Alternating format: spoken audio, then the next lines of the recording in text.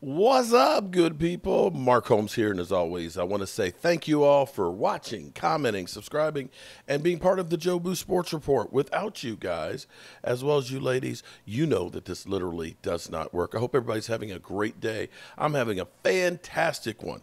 You know, here's the thing. Here's the thing that's kind of interesting. Right now, it is playoff time. We've got the Green Bay Packers. I need to start focusing in on the game and stuff. Jordan Love and that shoddy, uh, shoddy defense that the Green Bay Packers have. But I've been li- dealing with a lot of people that are just straight up haters and things. And, you know, when you start having everybody's got a list now, everybody's got a ranking and everything else. And a lot of times people do things not necessarily what they really believe it is. Uh, a lot of times they do it for getting reaction and getting views. Let's be honest here. The bottom line is you want to get people to watch. And sometimes you have to do something that is going to get people's attention, even if it's not the truth. That's what people do. And so when you see ESPN, which their claim to fame is basically selling Dak Prescott's name and the Dallas Cowboys, they know they're going to get views they go through and say, well, Dak Prescott, he's actually, you know, really good. We were wrong. People aren't going to watch. The haters aren't going to watch. Well, Cowboy fans will, and maybe that's all you need. So you've had Pro Football Focus has had their All Pro uh, set where Dak Prescott got dissed, and people are putting, of course, Josh Allen on it. You've had the NFLPA one, which I don't think had Micah Parsons on it. Now, this is the AP, AP okay? Associated Press. And so this has been around forever, and they don't necessarily have an agenda and things. These are sports writers and things like that that vote on this. So here's the AP All Pro, um, All Pro list that they have. And this is shocking.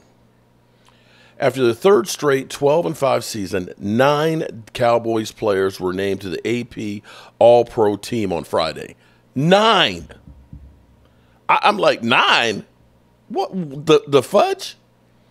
Wide receiver, CeeDee Lamb, DaRon Bland, Zack Martin, and Aubrey were all named first team All Pro. That's freaking insane. And then, second team All Pro, Dak Prescott, Micah Parsons, Tyron Smith, Tyler Smith, and punter Bryan Anger. Um, I'll be 100% real here. Tyron Smith, when he's healthy, yes. Tyron Smith is one of the best in the business. Um, definitely, at least the second best. But I don't know with the amount of games that he's missed if you still put him there as a second team All Pro. I ain't I ain't mad at I'm not mad at him. I mean it's like him and Trent Williams.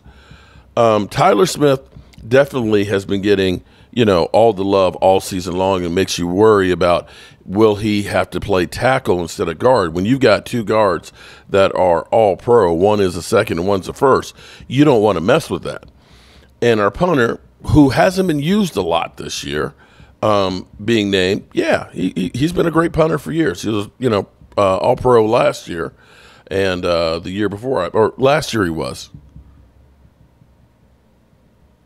or was it two years ago? Two years ago when he had his contract up, they uh, were actually like, you know, I don't know if we can sign him because he's going to be too expensive, you know, with AKA Catboy.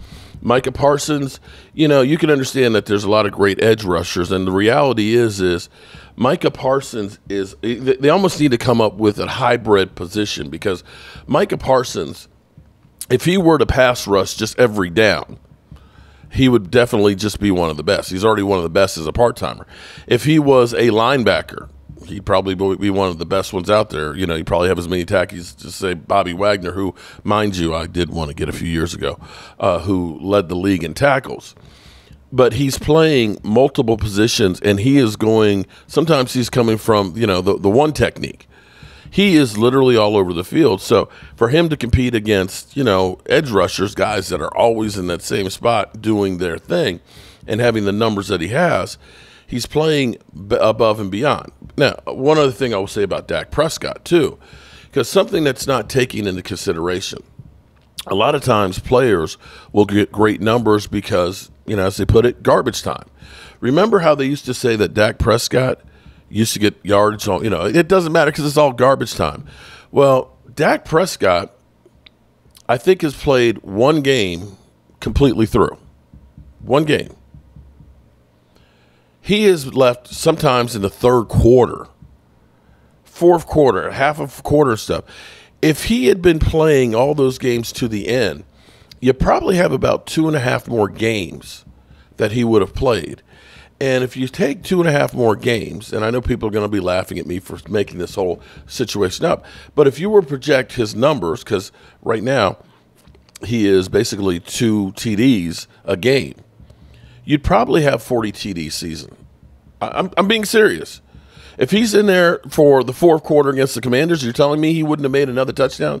If he's in there for another quarter, you know, against the Giants or some of these other t- the Panthers, you're telling me he's not making some more touchdown passes? And which case, the Cowboys blowing people out has hurt him as far as his numbers go. And so when you think about teams that basically are playing two plus more games than Dak Prescott, his numbers are that much better than what you think. And I'm glad that the Associated Press, because this is the one that's been there. This is the original one that has been there forever. All these other ones are Johnny come latelys and things.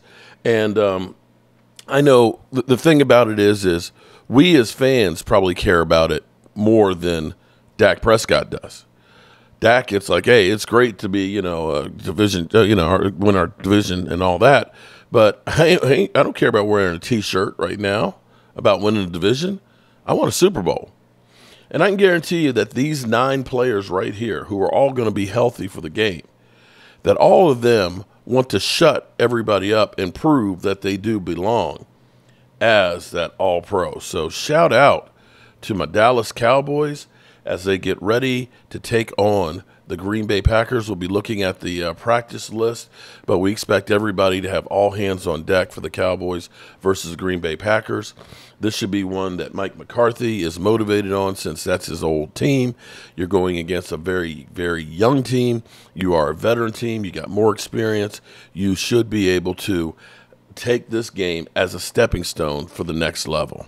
And hopefully that'll be the case. All right, nine all pros. Wow.